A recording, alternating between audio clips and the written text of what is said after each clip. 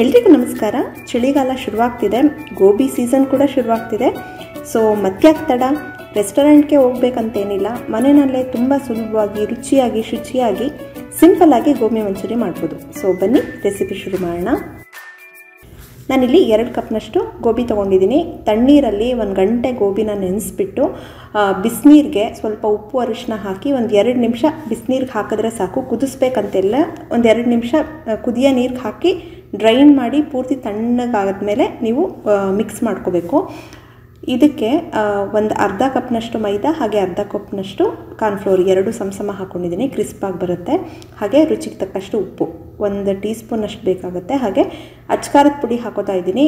ಇದು ಖಾರ ನೋಡಿ ಹಾಕ್ಕೊಳ್ಳಿ ಒಂದು ಸ್ಪೂನ್ ಎರಡು ಸ್ಪೂನ್ ಸಹಿತ ಹಾಕೋಬೋದು ಒಂದು ಕಪ್ಗೆ ಒಂದು ಸ್ಪೂನ್ ಅಳ್ತಲ್ಲಿ ಕೂಡ ಹಾಕೋಬೋದು ಹಾಗೆ ಸ್ವಲ್ಪ ಫುಡ್ ಕಲರ್ ಹಾಕೋತಾ ಇದ್ದೀನಿ. ಬೇಕು ಅಂದ್ರೆ ಹಾಕೊಳ್ಳಿ. ಒಂದು ಟೀ ಸ್ಪೂನ್ ಅದು ಕಾಳು ಮೆಣಸಿನ ಪುಡಿನ ಹಾಕಿ ಇದಿಷ್ಟನ್ನು ಹಾಗೆಯೇ ಡ್ರೈ ಮಿಕ್ಸ್ ಮಾಡ್ಕೋಬೇಕು. ಪೂರ್ತಿ ಡ್ರೈನ್ ಆಗಿರಬೇಕು ಗೋಬಿಲಿ ನೀರಂಶ ಇರಬಾರ್ದು. ಹಾಗೆ ಗೋಬಿ ಸಣ್ಣ ಸಣ್ಣದಾಗಿ ಕಟ್ ಮಾಡ್ಕೊಳ್ಳಿ. ಈ ಸೈಜ್ನಲ್ಲಿ ದಪ್ಪ ಆದರೆ ಮೆತ್ತಗಾಗ್ಬಿಡುತ್ತೆ. ಒಳಗಡೆ ಎಲ್ಲ ಬೇಯೋದೇ ಇಲ್ಲ. ಈ ಥರ ಸಣ್ಣ ಸಣ್ಣಕ್ಕೆ ಕಟ್ ಮಾಡಿಕೊಂಡು ಸ್ವಸ್ವಲ್ಪನೇ ನೀರು ಹಾಕ್ಕೊಂಡು ನೋಡ್ಕೊಂಡು ಈ ಥರ ನೀರು ಹಾಕ್ಕೊಂಡು ಕಲಿಸ್ಕೊಳ್ಳಿ.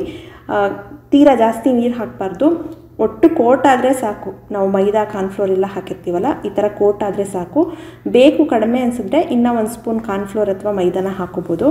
ಸಮ ಸಮ ಹಾಕಿದ್ದೀನಿ. ನೀವು ಸಾಫ್ಟ್ ಬೇಕಂದರೆ ಮೈದಾ ಜಾಸ್ತಿ ಹಾಕೊಳ್ಳಿ. ಕ್ರಿಸ್ಪಿ ಬೇಕು ಅಂದರೆ ಕಾರ್ನ್ಫ್ಲೋರ್ನ ಜಾಸ್ತಿ ಹಾಕ್ಕೊಂಡು ನೋಡಿ ಈ ಥರ ಚೆನ್ನಾಗಿ ಮಿಕ್ಸ್ ಮಾಡಿ. ಇದನ್ನೇನು ನೆನೆಸಂಗಿಲ್ಲ. ಎಣ್ಣೆಗೆ ಕರಿಯೋದೇನೆ ಡೈರೆಕ್ಟಾಗಿ ಚೆನ್ನಾಗಿ ಕಾದಿರಬೇಕು. ಎಣ್ಣೆ ಕಾದಮೇಲೆ ಉರಿನ ಮೀಡಿಯಮ್ ಮತ್ತು ಹೈ ಮಧ್ಯ ಇಟ್ಕೊಂಡು ಈ ಥರ ಡೀಪ್ ಫ್ರೈ ಮಾಡ್ಕೊಳ್ಳಿ. ಸ್ವಲ್ಪ ಬಿಡಿಬಿಡಿಯಾಗಿ ಹಾಕಿ, ನಾನು ಸುತ್ತ ಯಾವ ಥರ ಹಾಕ್ತಾಯಿದ್ದೀನಿ ಆ ಥರ ಹಾಕ್ಕೊಳ್ಳಿ ಒಂದಕ್ಕೊಂದು ಅಂಟ್ಕೊಂಡ್ರೆ ಕ್ರಿಸ್ಪ್ ಆಗಲ್ಲ ಮೆತ್ತಗಾಗ್ತವೆ ಹಾಗೆ ಸ್ವಲ್ಪ ಹಾಕಬೇಕು. ನಾವು ಎಣ್ಣೆ ಎಷ್ಟು ಹಾಕಿರ್ತೀವಿ, ಅದರಲ್ಲಿ ಅರ್ಧ ಕವರ್ ಆದರೂ ಸಾಕು. ನೀವು ಫುಲ್ ಹಾಕಿದ್ರೆ ಎಣ್ಣೆ ಟೆಂಪ್ರೇಚರ್ ಕಡಿಮೆ ಆಗಿ ಮೆತ್ತಗಾಗ್ತವೆ ಗೋಬಿ, ಕ್ರಿಸ್ಪ್ ಆಗಲ್ಲ. ನೀವು ಒಂದು ಸಲ ಕರಿಯೋದನ್ನೇ ಮೂರು ಸಲ ಡೀಪ್ ಫ್ರೈ ಮಾಡ್ಕೊಳ್ಳಿ. ಚೆನ್ನಾಗಿ ಬರುತ್ತೆ. ನೋಡಿ ಈ ಥರ ಬಬಲ್ಸ್ ಎಲ್ಲ ಚೆನ್ನಾಗಿ ಕಡಿಮೆ ಆಗಿದೆ. ಲೈಟ್ ಆಗಿದೆ ಬಬಲ್ಸ್ ಅಲ್ಲಿವರೆಗೂ ನೀವು ಕ್ರಿಸ್ಪ್ ಆಗೋವರೆಗೂ ಈ ಥರ ಡೀಪ್ ಫ್ರೈ ಮಾಡ್ಕೋಬೇಕು. ಫುಡ್ ಕಲರ್ ಹಾಕೊಳ್ಳೇಬೇಕಂತೇನಿಲ್ಲ. ನಾನು ಒಂದು ಚಿಟಿಕೆ ಹಾಕ್ಕೊಂಡಿದ್ದೀನಿ ಅಷ್ಟೇ ಬೇಡ ಅಂದರೆ ನೀವು ಖಾರದ ಪುಡಿನೇ ಒಳ್ಳೆ ಕಲರ್ ಇರೋ ಅಂತ ಖಾರದ ಪುಡಿ ತೊಗೊಂಡು ಹಾಕ್ಕೊಂಡ್ರು ಸಾಕು, ಇದೇ ಕಲರ್ ಬರುತ್ತೆ. ನೋಡಿ ಕ್ರಿಸ್ಪ್ ಆದಮೇಲೆ ಒಂದು ಸ್ಟ್ರೈನರ್ಗೆ ಹಾಕ್ಕೊಳ್ಳಿ ಇನ್ನೊಂದು ಸಲ ಹಾಕುವಾಗೂ ಅಷ್ಟೇ, ಎಣ್ಣೆ ಚೆನ್ನಾಗಿ ಕಾದಿರಬೇಕು. ಕಾದ್ಮೇಲೆ ಹಾಕ್ಕೊಳ್ಳಿ ಇಲ್ಲಾಂದರೆ ಒಂದು ಎರಡು ನಿಮಿಷ ಎಣ್ಣೆ ಕಾಯೋವರೆಗೂ ಬಿಟ್ಟು, ಆಮೇಲೆ ಈ ಥರ ಸೊ ಸ್ವಲ್ಪನೇ ಹಾಕ್ಕೊಂಡು ಈ ಥರ ಡೀಪ್ ಫ್ರೈ ಮಾಡ್ಕೊಳ್ಳಿ. ಒಂದಕ್ಕೊಂದು ಅಂಟ್ಕೊಂಡ್ರೆ ಈ ಥರ ಸಪ್ರೇಟ್ ಮಾಡಿಕೊಂಡು ಡೀಪ್ ಫ್ರೈ ಮಾಡ್ಕೊಳ್ಳಿ. ನಾನು ಮೂರು ಸಲ ಡೀಪ್ ಫ್ರೈ ಮಾಡಿ ಇಟ್ಕೊಂಡಿದ್ದೀನಿ, ಎರಡು ಕಪ್ನಷ್ಟು ಗೋಬಿನ. ಸೊ ಕ್ರಿಸ್ಪಾಗಿದೆ ನೋಡಿ. ಎಲ್ಲ ರೆಡಿ ಮಾಡ್ಕೋಬೇಕು. ನೀವು ಸಾಸ್ ಮಾಡೋಕ್ಕಿಂತ ಮುಂಚೆ ನೋಡಿ ಒಂದು ಸ್ಪೂನ್ನಷ್ಟು ಕಾರ್ನ್ಫ್ಲೋರ್ಗೆ ಒಂದು ಅರ್ಧ ಕಪ್ನಷ್ಟು ನೀರನ್ನ ಹಾಕಿ ಮಿಕ್ಸ್ ಮಾಡ್ಕೊತಾ ಇದ್ದೀನಿ. ಈ ಥರ ಮಿಕ್ಸ್ ಮಾಡಿ ಇಟ್ಕೊಳ್ಳಿ. ಎಲ್ಲ ರೆಡಿ ಮಾಡಿ ಇಟ್ಕೊಳ್ಳಿ. ಇದಕ್ಕೆ ಸಾಸ್ ಕೂಡ ರೆಡಿ ಮಾಡ್ಕೋಬೇಕು. ರೆಡ್ ಚಿಲ್ಲಿ ಸಾಸ್ ತೊಗೊಂಡಿದ್ದೀನಿ. ಇದನ್ನು ಎರಡು ಟೇಬಲ್ ಸ್ಪೂನ್ ಹಾಕೋಬೋದು. ಖಾರ ನೋಡ್ಕೊಳ್ಳಿ. ಮಕ್ಕಳಿದ್ರೆ ಸಣ್ಣ ಮಕ್ಕಳಿದ್ರೆ ಒಂದೇ ಸ್ಪೂನ್ ಸಾಕು. ಸ್ಪೈಸಿಯಾಗಿ ಬೇಕು ಅಂದರೆ ಎರಡು ಸ್ಪೂನ್ ಕೂಡ ಹಾಕೋಬೋದು. ಹಾಗೆ ಸೋಯಾ ಸಾಸ್ ತೊಗೊಂಡಿದ್ದೀನಿ. ಇದು ಒಂದು ಟೇಬಲ್ ಸ್ಪೂನ್ ಹಾಕ್ಕೊಂಡ್ರೆ ಸಾಕು. ಹಾಗೆ ಟೊಮೆಟೊ ಕೆಚಪ್ ಮಕ್ಕಳಿದ್ರೆ ಮೂರು ಸ್ಪೂನ್ ನಾಲ್ಕು ಸ್ಪೂನ್ ಹಾಕೋಬೋದು. ಇಲ್ಲ ಸ್ಪೈಸಿಯಾಗಿ ಬೇಕು ಅಂದರೆ ಎರಡು ಸ್ಪೂನ್ ಹಾಕ್ಕೊಂಡ್ರೆ ಸಾಕು. ಎರಡು ಟೇಬಲ್ ಸ್ಪೂನ್ ಹಾಕ್ಕೊಂಡ್ರೆ ಸಾಕು. ಇದನ್ನೆಲ್ಲ ಮಿಕ್ಸ್ ಮಾಡಿ ಇಟ್ಕೊಳ್ಳಿ. ಸಾಸ್ ರೆಡಿ ಇದ್ದರೆ ಬೇಗ ಬೇಗ ಮಾಡ್ಬೋದು. ನಾನಿಲ್ಲಿ ವಿನೆಗರ್ ಹಾಕೋತಾ ಇಲ್ಲ. ವಿನೆಗರ್ ಹುಳಿ ಆಗುತ್ತೆ. ಈ ಸೋಯಾ ಸಾಸಲ್ಲೇ ಹುಳಿ ಇರೋದ್ರಿಂದ ವಿನೆಗರ್ ಸ್ಕಿಪ್ ಮಾಡ್ತಿದ್ದೀನಿ. ಬೇಕು ಅಂದರೆ ಹಾಕ್ಕೊಳ್ಳಿ ಈ ಥರ ಮಿಕ್ಸ್ ಮಾಡಿ ಸಾಸ್ ರೆಡಿ ಮಾಡ್ಕೋಬೇಕು. ಸೊ ಎಲ್ಲ ರೆಡಿ ಮಾಡ್ಕೊಳ್ಳಿ. ಈರುಳ್ಳಿ ಮತ್ತು ಕ್ಯಾಪ್ಸಿಕಮ್ ಎಲ್ಲ ಕಟ್ ಮಾಡಿ ಕೂಡ ಇಟ್ಕೊಳ್ಳಿ. ಗೋಬಿ ಕೂಡ ರೆಡಿಯಾಗಿದೆ ಫಸ್ಟು ಪ್ಯಾನ್ನ ಚೆನ್ನಾಗಿ ಬಿಸಿ ಮಾಡಬೇಕು. ಬಿಸಿ ಆದಮೇಲೆ ನೀವು ಎರಡು ಸ್ಪೂನ್ನಷ್ಟು ಎಣ್ಣೆ ಹಾಕ್ಕೊಳ್ಳಿ ನೋಡಿ, ಚೆನ್ನಾಗಿ ಬಿಸಿ ಆಗಿರಬೇಕು. ಚೈನೀಸ್ ರೆಸಿಪೀಸ್ ಎಲ್ಲಷ್ಟು, ಎಲ್ಲದೂ ಅಷ್ಟೇ ಬಿಸಿ ಇದ್ದಂಗೆ ಮತ್ತು ಉರಿನ ಹೈಗೆ ಇಟ್ಕೊಂಡೇ ಮಾಡ್ಕೋಬೇಕು. ಎಣ್ಣೆ ಚೆನ್ನಾಗಿ ಕಾದ್ಮೇಲೆ ಒಂದು ಎರಡು ಸ್ಪೂನ್ ಬೆಳ್ಳುಳ್ಳಿನ ಸಣ್ಣಗೆ ಹೆಚ್ಕೊಂಡಿದ್ದೆ. ಸ್ವಲ್ಪ ಲೈಟಾಗಿ ಜಸ್ಟ್ ಒಂದೊಂದು ಸೆಕೆಂಡ್ ಎರಡೆರಡು ಸೆಕೆಂಡ್ ಬಿಟ್ಟುಬಿಟ್ಟು ಹಸಿಮೆಣಸಿನ್ಕಾಯಿ ಕೂಡ ಹಾಕ್ಕೊಂಡಿದ್ದೀನಿ ಒಂದು ಮೂರು ಹಸಿಮೆಣಸಿನ್ಕಾಯಿನ ಸಣ್ಣ ಕಟ್ ಮಾಡಿ ಹಾಕ್ಕೊಂಡಿದ್ದೀನಿ ಹಾಗೆ ಕ್ಯಾಪ್ಸಿಕಮ್ ಒಂದು ಕ್ಯಾಪ್ಸಿಕಮ್ನ ಈ ಥರ ಸಣ್ಣ ಕಟ್ ಮಾಡ್ಕೊಂಡಿದ್ದೀನಿ. ಸಣ್ಣ ಕಟ್ ಮಾಡಿದ್ರೆ ಚೆನ್ನಾಗಿ ಕೋಟ್ ಆಗುತ್ತೆ ಗೋಬಿಗೆ.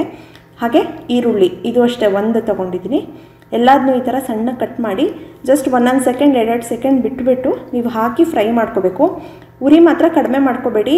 ಮಾಡಿದ್ರೂ ಹೈಯಿಂದ ಸ್ವಲ್ಪ ಮೀಡಿಯಮಾಗಿ ತೊಗೊಂಬರ್ಬೇಕಷ್ಟೇ ಲೋ ಮಾಡಿದ್ರೆ ಚೆನ್ನಾಗಿರಲ್ಲ. ಇದಕ್ಕೆ ಈರುಳ್ಳಿ ಹೂವು ಹಾಕೋತಾ ಇದ್ದೀನಿ, ಒಂದು ಎರಡು ಟೇಬಲ್ ಸ್ಪೂನಷ್ಟು ಇದ್ರೆ ಹಾಕೊಳ್ಳಿ, ಇಲ್ಲಾಂದರೆ ನೀವು ಕೊತ್ತಂಬರಿ ಸೊಪ್ಪು ಕೂಡ ಯೂಸ್ ಮಾಡ್ಬೋದು. ನೋಡಿ, ಈ ಥರ ಚೆನ್ನಾಗಿ ಫ್ರೈ ಮಾಡ್ಕೋಬೇಕು.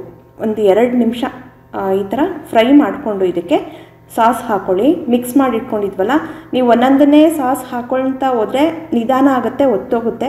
ಈ ಥರ ಒಟ್ಟಿಗೆ ಮಿಕ್ಸ್ ಮಾಡಿ ಹಾಕ್ಕೊಂಡ್ರೆ ಈಸಿ ಎಲ್ಲ ಇದರಲ್ಲೇ ಇರುತ್ತೆ. ಹಾಕಿ, ಇದನ್ನೂ ಅಷ್ಟೇ ಮೀಡಿಯಮ್ ಮತ್ತು ಹೈ ಫ್ಲೇಮ್ ಮಧ್ಯಾಹ್ನ ಇಟ್ಕೊಂಡು ಈ ಥರ ಮಿಕ್ಸ್ ಮಾಡಬೇಕು. ಸ್ವಲ್ಪ ಉರಿ ಕಡಿಮೆ ಕೊಟ್ಟರು ಫುಲ್ ಲೋ ಮಾಡಿದ್ರೆ ಮಾತ್ರ ಚೆನ್ನಾಗಿರಲ್ಲ. ಬೇಗನೆ ಗಟ್ಟಿಯಾಗುತ್ತೆ. ರುಚಿಗೆ ಸ್ವಲ್ಪ ಉಪ್ಪನ್ನು ಹಾಕಿ ಈ ಥರ ಮಿಕ್ಸ್ ಮಾಡ್ಕೊಳ್ಳಿ. ಸಾಸ್ಗೆ ಎಷ್ಟು ಬೇಕಷ್ಟು ಉಪ್ಪು ಹಾಕೊಳ್ಳಿ ಅಷ್ಟೇ ನೋಡಿ, ಈ ಥರ ಸ್ವಲ್ಪ ಗಟ್ಟಿ ಆಗ್ತಿದೆ ಅಂದಾಗ ಈ ಸಾಸ್ನ ಮಿಕ್ಸ್ ಮಾಡ್ಕೊಂಡಿರ್ತೀವಲ್ಲ ಅದಕ್ಕೇ ಒಂದು ಅರ್ಧ ಕಪ್ನಷ್ಟು ನೀರನ್ನ ಮಿಕ್ಸ್ ಮಾಡಿಬಿಟ್ಟು ಸೇರಿಸ್ತಾ ಇದ್ದೀನಿ. ಈ ಥರ ಕುದಿಯುತ್ತೆ ಚೆನ್ನಾಗಿ ಟೇಸ್ಟ್ ಚೆನ್ನಾಗಾಗುತ್ತೆ.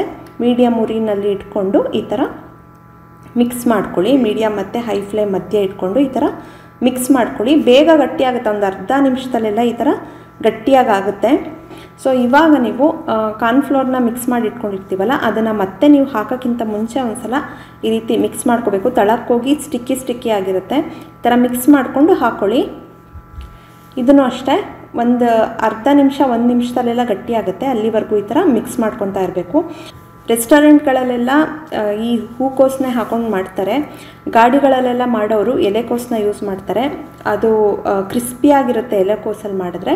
ಹೂಕೋಸಲ್ಲಿ ಮಾಡಿದ್ರೆ ಒಂದು ಹದಿನೈದು ನಿಮಿಷದವರೆಗೂ ಕ್ರಿಸ್ಪಿಯಾಗೇ ಇರುತ್ತೆ. ಸೊ ಫಾಸ್ಟಾಗಿ ಮಾಡ್ಕೋಬೇಕು. ಎಲ್ಲ ರೆಡಿ ಆದಮೇಲೆ ಕೊನೆಯಲ್ಲಿ ಗೋಬಿ ಫ್ರೈ ಮಾಡಿರ್ತೀವಲ್ಲ, ಅದನ್ನು ಹಾಕಿ ಜಸ್ಟ್ ಒಂದು ಥರ್ಟಿ ಸೆಕೆಂಡ್ಸ್ ಈ ಥರ ಮಿಕ್ಸ್ ಮಾಡ್ಕೊಳ್ಳಿ. ಎಲೆಕೋಸ್ ಮಂಚೂರಿ ಮಾಡಿದ್ರೆ ನೀವು ಒಂದು ನಿಮಿಷ ಮಾಡ್ಕೋಬೋದು ಬಟ್ ಇದನ್ನು ಫಾಸ್ಟಾಗಿ ಮಿಕ್ಸ್ ಮಾಡಬೇಕು. ಮೇಲ್ಗಡೆ ಸ್ವಲ್ಪ ಈರುಳ್ಳಿ ಹೂನ ಹಾಕೋತಾ ಇದ್ದೀನಿ ಸ್ಪ್ರಿಂಗ್ ಆನಿಯನ್ನ ಹಾಕಿ ಈ ಥರ ಮಿಕ್ಸ್ ಮಾಡ್ತಾ ಇದ್ದೀನಿ. ನೋಡಿ ನೋಡೋಕ್ಕೆ ಎಷ್ಟು ಚೆನ್ನಾಗಿದೆ, ತಿನ್ನೋಕ್ಕೂ ಅಷ್ಟೇ ಸೂಪರಾಗಿರುತ್ತೆ ಸ್ಪೈಸ್ ನಿಮಗೆ ತಕ್ಕಷ್ಟು ನೀವು ಹಾಕೋಬೋದು. ನಾನು ಹಾಕಿರೋದು ಮೀಡಿಯಮ್ ಆಗಿದೆ ಎಲ್ಲರೂ ತಿನ್ಬೋದು ಮಕ್ಕಳಿಂದ ಹಿಡಿದು ದೊಡ್ಡವ್ರವರೆಗೂ ತಿನ್ಬೋದು. ನಿಮಗೆ ಸ್ಪೈಸಿ ಇನ್ನೂ ಜಾಸ್ತಿ ಬೇಕು ಅಂದರೆ ಚಿಲ್ಲಿ ಸಾಸ್ ಆಗಲಿ ಹಸಿಮೆಣಸಿನ್ಕಾಯಲ್ಲಿ ಸ್ವಲ್ಪ ಜಾಸ್ತಿ ಹಾಕೊಂಡು ಮಾಡ್ಕೊಳ್ಳಿ. ಹಾಗೆ ಬ್ಯಾಟರ್ ನೀವು ಕಲಿಸುವಾಗ ಶುಂಠಿ ಬೆಳ್ಳುಳ್ಳಿ ಪೇಸ್ಟ್ ಬೇಕಿದ್ದರೆ ಅದನ್ನು ಕೂಡ ಹಾಕೊಂಡು ಮಾಡ್ಕೋಬೋದು. ನಾನು ಸಿಂಪಲ್ಲಾಗಿ ಮಾಡಿ ತೋರಿಸ್ತಾ ಇದ್ದೀನಿ.